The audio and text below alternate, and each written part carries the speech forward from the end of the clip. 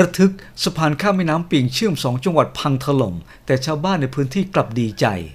เหตุการณ์นี้เกิดขึ้นที่เมื่อชาวบ้านถ่ายภาพนาทีที่สะพานวังสะแกง สะพานข้ามแม่น้ำปิงที่เชื่อมระหว่างอำเภอจอมทองจังหวัดเชียงใหม่ กับอำเภอเวียงหนองล่อง จังหวัดลำพูน บริเวณ บ้านเวียงหนองล่อง เกิดพังซุดตัวลงไปในแม่น้ำปิงส่งเสียงดังและก็แรงสะเทือนไปทั่วทั้งบริเวณ เหตุการณ์นั้นเกิดเมื่อวันที่ 30 กันยายนเวลา 17นาฬิกา31นาทีที่ผ่านมา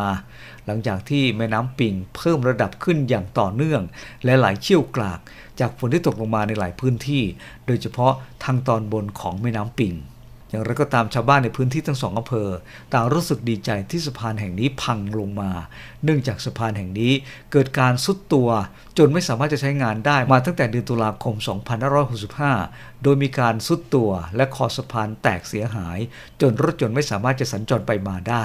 ทางเจ้าหน้าที่ต้องปิดห้ามใช้มานานครบ 1 ปีเต็ม แต่ก็ยังมีชาวบ้านแอบใช้สำหรับเดินผ่าน หรือใช้รถจักรยาน และรถจักรยานยนต์ผ่านอยู่ เนื่องจาก หากไปใช้สะพานข้ามอีกแห่งหนึ่ง ต้องขับรถไปไกลถึง 10 กิโลเมตร ซึ่งตลอดทั้งหนึ่งปีที่ผ่านมาก็ไม่มีความคืบหน้าในการซ่อมแซมบำรุงแต่อย่างใด